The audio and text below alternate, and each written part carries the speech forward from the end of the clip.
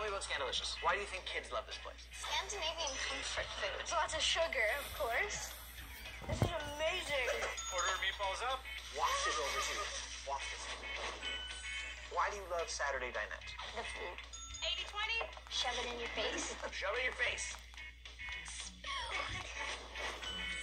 Are you, You a doing the regular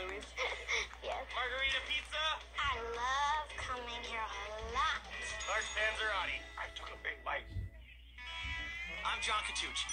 Listen, I'm no chef, but I know great food when I eat it. And these joints are cooking it right. In this kids edition of You Gotta Eat Here. I'm not John Catucci. I'm Lydia, but I know good food when I eat it, and this joint is cooking it right. Do you want to try Scandinavian food in Vancouver? Go ahead, say it. You gotta eat here. It's like looking in a mirror. Next time, more eyebrows. Okay. Okay. I love this place. Why do you love Scandilicious? The food is so Oh, good. an it R-rated like bursts movie. your taste buds out. You haven't lived life until you've tried it.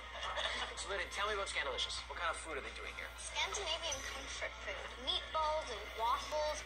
Chicken and waffles. Order up. the chicken and waffles is really tasty. Crispy bacon.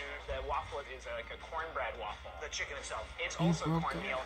Why do you think kids love this place? The food is amazing and everyone is super nice because there's lots of Well- sugar. I was never actually a big Oh. fan of mixing sweetness with savory until the burgers. Maple bacon jam burger for pickup. Delicious jam filled to the brim with bacon.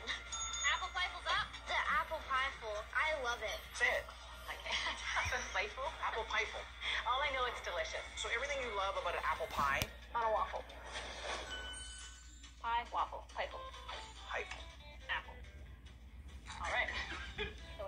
Water here.